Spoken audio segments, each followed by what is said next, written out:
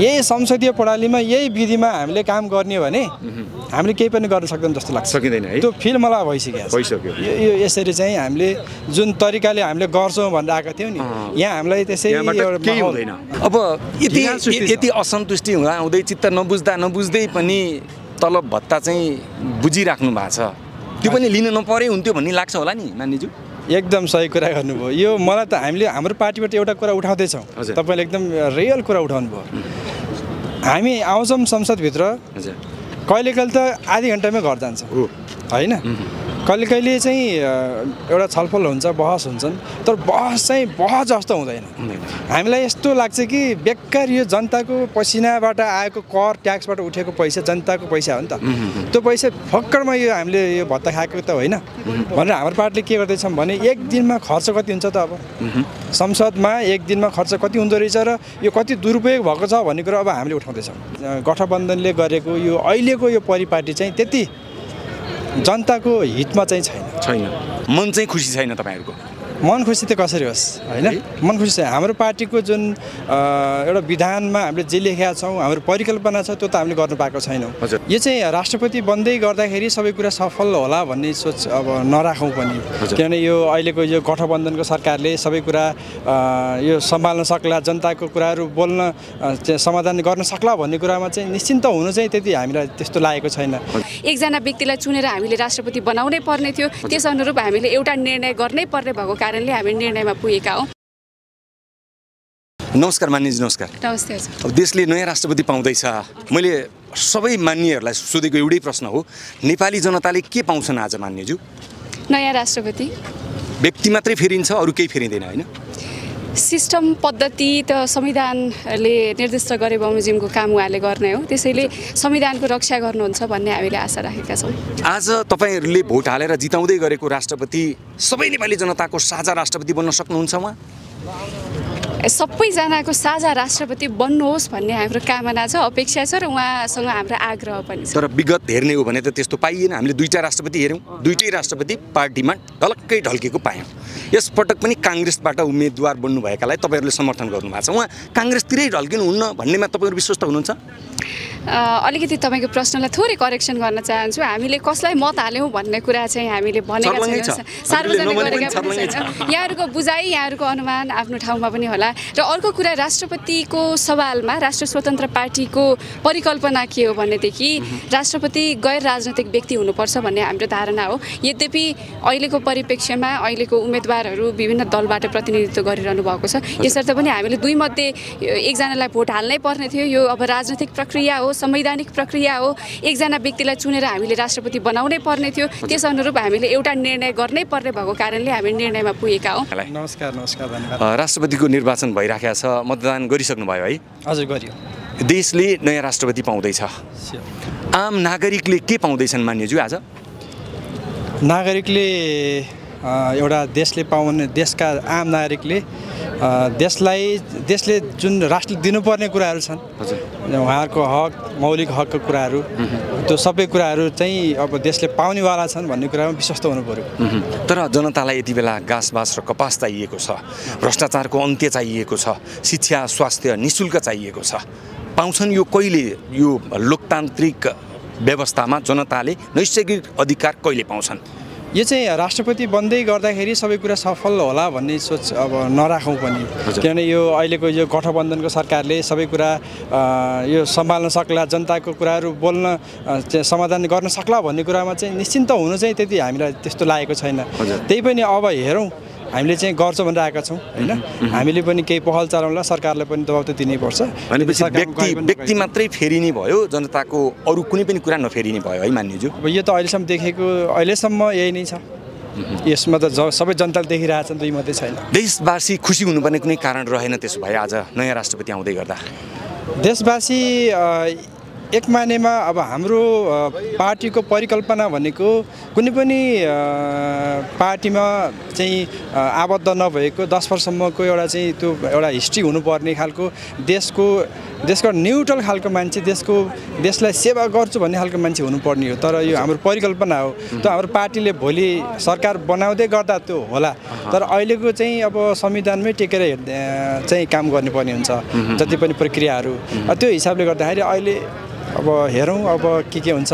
अहिले अब भनेपछि तपाईँहरू आफै भित्रदेखि प्रसन्न नहुँदा नहुँदै पनि यो व्यवस्था हो सिस्टम यही हो यसको विकल्प छैन भनेर यही ढोकाबाट भित्र पस्नुको विकल्प रहेन। मन चाहिँ खुसी छैन तपाईँहरूको। मन खुसी त कसरी होस्? होइन? मन खुसी हाम्रो पार्टीको जुन एउटा विधानमा हामीले जे लेखेका छौँ हाम्रो परिकल्पना छ त्यो त हामीले गर्नु पाएको छैनौँ। हजुर। अब समय सापेक्ष अहिले जुन अ, हिँडिराख्नु पर्ने छ यही संविधानमा टेकेर अगाडि बढ्नु पर्ने छ। यसमा त अवश्य जानै पर्यो। यसलाई त कसैले छेकेर छेकिँदैन किनभने हाम्रो अहिले सङ्ख्या पनि कम छ। बिसजनाको सङ्ख्याले सबै कुरा गर्छौँ भन्नु गाह्रो हुन्छ। त्यसले गर्दाखेरि अहिले खासै म मेरो व्यक्तिगत धारणा धारणा के छ भने राष्ट्रपति होस् प्रधानमन्त्री होस् सबै कुरा गठबन्धनले गरेको यो अहिलेको यो परिपाटी चाहिँ त्यति जनताको हितमा चाहिँ छैन। छैन। चित्त बुझ्दो छैन र यसको विकल्प पनि छैन। किनकि राष्ट्रपतिसँग मत धेरै छैन। छैन। बिसजना सांसदको भरमा परिवर्तन गराउन सम्भव छैन। सकिँदैन उनासी सिट ल्याउनेले त केही गर्न सकेका छैनन् है। घुमाइदिए कस्तो? विडम्बनापूर्ण अवस्था छ है त्यतिसम्म संसदीय व्यवस्था? त्यही त। म त पहिलो पटकमै अ, म पहिलो पटक अहिले संसद भएको पनि हो। हजुर। र हाम्रो पार्टी नै अगाडि आइरहेका छौँ। यो संसद हुँदै गर्दा पनि मलाई के फिल भएको छ भने हजुर। यही संसदीय प्रणालीमा यही विधिमा हामीले काम गर्ने भने हामीले केही पनि गर्न सक्दैन जस्तो लाग्छ। सकिँदैन है। त्यो फिल मलाई भइसक्यो। भइसक्यो। यो यो यसरी चाहिँ हामीले जुन तरिकाले हामीले गर्छौँ भनेर आएको थियौँ नि यहाँ हामीलाई त्यसै हुनेवाला एउटा एउटा पुरानो उखान भनाइ सम्झाउँछु। माओवादीले भन्थ्यो यो संसद भनेको खसीको टाउको देखाएर कुकुरको मासु बेच्ने थलो हो भन्थ्यो। त्यस्तै रहेछ कि कस्तो रहेछ? यो छोटो अवधिको यहाँको अनुभव त्यति साह्रै त नबनाऊ। गर्न त सकिन्छ कति कुराहरू। हजुर। तर त्यही पनि हामीले जुन स्पिडमा गर्नुपर्ने थियो नि जस्तै अहिले राष्ट्रपतिको निर्वाचन बल्ल भइरहेछ। अहिलेसम्म कुनै एउटा एउटा दुइटा विधेयक भन्दा अरू केही पनि आएको छैन। जनताको समस्यालाई बोल्न त हामीले भोलिपल्टदेखि बोल्न पर्ने हो नि त। केही दिन लाग्ला। तर यो त साह्रै ढिला सुस्ती छ। यो विधि प्रणाली यो सिस्टम जुन संसदीय प्रणाली सिस्टम छ नि विधि यसलाई जहिलेसम्म हामीले परिवर्तन गर्न सक्दैनौँ तहिलेसम्म हाम्रो यो जनताको अधिकारका कुरा जनताका समस्याका कुरालाई तत्काल रूपले चाहिँ एउटा चाहिँ एउटा क्रान्ति ल्याउने तरिकाले काम गर्न चाहिँ गाह्रो छ। अब यति। यति असन्तुष्टि हुँदा हुँदै चित्त नबुझ्दा नबुझ्दै पनि तलब भत्ता चाहिँ बुझिराख्नु भएको छ। त्यो पनि लिन नपरे हुन्थ्यो भन्ने लाग्छ होला नि नानीज्यू एकदम सही कुरा गर्नुभयो। यो मलाई त हामीले हाम्रो पार्टीबाट एउटा कुरा उठाउँदैछौँ। तपाईँले एकदम रियल कुरा उठाउनु भयो हामी आउँछौँ संसदभित्र। कहिले कहिले त आधी घन्टामै घर जान्छ। हो। होइन? कहिले कहिले चाहिँ एउटा छलफल हुन्छ बहस हुन्छन् तर बहस चाहिँ बहस जस्तो हुँदैन। हामीलाई यस्तो लाग्छ कि बेकार यो जनताको पसिनाबाट आएको कर ट्याक्सबाट उठेको पैसा जनताको पैसा हो नि त। त्यो पैसा फक्करमा यो हामीले यो भत्ता खाएको त होइन।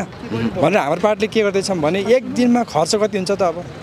संसदमा एक दिनमा खर्च कति हुँदो रहेछ र यो कति दुरुपयोग भएको छ भन्ने कुरा अब हामीले उठाउँदैछौँ। यो सही कुरा तपाईँले भनेको कुरा यो बेकार के यो त्यही भएर मलाई के लाग्छ भने काम गर्ने भने हामीलाई यति धेरै काम गरौँ गरौँ भएको छ तर काम गर्ने वातावरण छैन यो वातावरण बनोस् भन्ने हाम्रो इच्छा हो। यो जनताको कामै पाइरहेको छैनन्। काम पाएको छैन। जनताका जति पनि पसिनाले बगेर पसिना बगाएर त्यो एउटा कर ट्याक्स तिरे हुन्छ नि त्यो पैसाले हामीलाई पाप लाग्छ। होइन त्यो हिसाबले हामीले काम गर्ने वातावरण बनाइदियोस्। हजुर। त्यो खालको विधि प्रणाली हुनुपर्छ भन्ने लाग्छ मलाई। नत्र भने यो यहाँ आएर हल्लेर होइन यो पैसा बर्बाद पारेर काम छैन। तपाईँ आफै पनि चिकित्सक हुनुहुन्छ जहाँसम्म मलाई लाग्छ। आम नागरिकको स्वास्थ्य अधिकारका सन्दर्भमा यो गरौँला त्यो गरौँला भनेर एक किसिमको तपाईँको सोचाइ त छ नि प्लानिङ छ नि त। संसदमा गइसके पछाडि म गर्छु। जनताले परिवर्तनको मसे अब महसुस गर्न पाउँछन् भन्ने एउटा हुटुटी बोकेर तपाईँ संसद छिर्नुहुन्छ तर निराश भएर फर्कनुपर्छ। होइन यही होइन अहिलेको वास्तविकता? विधि विधान यो सबै यो पुरानो धेरै धेरै पुरानो चाहिँ खालको छ हाम्रो विधि संसदीय विधि प्रणाली। त्यसले गर्दाखेरि हामी दिक्क भएका छौँ। यसलाई अब जनतालाई हामी के भन्न चाहन्छौँ भने हाम्रो पार्टीलाई दुई तिहाई ल्याएर अबको निर्वाचन चिताइदिनुहोस् अवश्य। तब मात्र हामीले हामीले भने जस्तो सम्पूर्ण कामहरू गर्न पाउँछौँ। यही विधि शासन चाहिँमा बसेर काम गर्न सकिँदैन। होला केही धिमे गतिमा काम गर्न सकियो होला तर हाम्रा जति पनि आशा जनताका आशा भरोसाहरू हामीलाई चाहिँ हामीलाई सुम्पेर पठाउनु भएको छ त्यो आशा भरोसालाई चाहिँ हामीले सबै कुराहरू यसरी यो तरिकाले दिन सकिँदैन भन्ने मलाई लाग्छ। यो अहिले एउटा एक्सपिरियन्स मलाई भयो। दुई महिनाको पिरियड हो। होइन तर अब स्वास्थ्यको कुरालाई तपाईँले उठाइहाल्नुभयो। स्वास्थ्यलाई मैले यति धेरै चाहिँ सुधार गर्छु भनेर आएको थिएँ। नि शुल्क स्वास्थ्य बनाउँछु भनेको थिएँ देशभरि। स्वास्थ्य शिक्षालाई चाहिँ हब बनाउँछु अन्तर्राष्ट्रिय हब बनाउँछु र त्यहाँबाट आएको पैसाले चाहिँ स्वास्थ्य नि शुल्क गर्छु भन्ने खालको मेरो सोच थियो। बाचापत्रमा लेखेको थिएँ मैले। तर त्यो अहिले चाहिँ यो यो माहौलमा अब कसरी गर्ने? यो सबैले बुझ्नु जरुरी छ। मैले एउटाले अब कतिसम्म सकमला भोलि स्वास्थ्यका बिलहरू आउँदाखेरि त्यो बेलामा कुरा उठा कुरा उठाउँदा त छुट्टै कुरा। तर यो तरिकाले चाहिँ हामीले काम गर्न गाह्रो हुँदो रहेछ यो प्रणालीमा भन्ने लागेको छ। परम्परागत संसदीय प्रणालीबाट परिवर्तन सम्भव छैन। यो निष्कर्ष? छैन। यही विधि यही प्रणाली यही पुरानो संसदीय प्रणालीमा हामीलाई काम गर्न गाह्रो छ।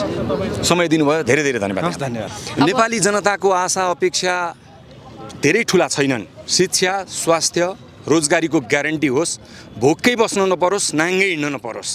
यति अपेक्षा छ। यो अपेक्षा कहिले सम्बोधन हुन्छ मान्यज्यू?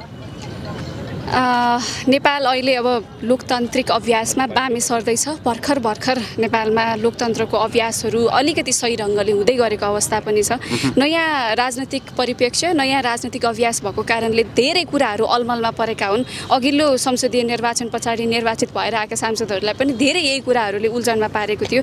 आशा गरौँ हामी यस्ता त्यो ग्यापहरूलाई चाहिँ योपालि हामी टाल्न सक्छौँ र यो सिस्टमलाई सही अर्थमा सिस्टम चाहिँ राम्रो बनाउन सक्छौँ भन्ने चाहिँ आशा गरौँ। यसमा राष्ट्रपतिदेखि लिएर प्रधानमन्त्रीदेखि लिएर संसदहरू सांसदहरूले पनि एउटा चाहिँ सही अभ्यास गरेर सिस्टम बनाउनको लागि काम गर्नु मान्यज्यू मलाई लाग्छ आजको दिन हरेक नेपाली नागरिक खुसी हुनुपर्छ हरेक नेपालीले घर घरमा दीपावली गरेर राष्ट्रपतिको स्वागत गर्नुपर्छ। तर नेपाली जनतालाई राष्ट्रपति निर्वाचनको कुनै चासो छैन।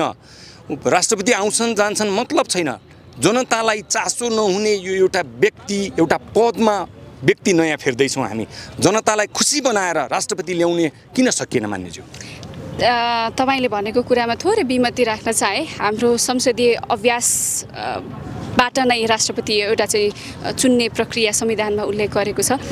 राष्ट्रपति यदि सबै नागरिकहरूले मत हालेर चुन्ने सिधै जनताहरूले मत हालेर चुन्ने व्यवस्था भएको भएदेखि त्यो प्रकारको अभ्यास हुन सक्थ्यो होला।